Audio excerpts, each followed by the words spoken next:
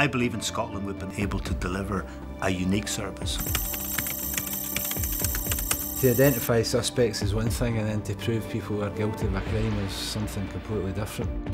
323 to 584. Although you see a lot of dead people, you treat everyone as an individual with respect and with humanity. 482. That's 110710. Forensic scientists, they are silent witnesses and they are the eyes and ears of law enforcement.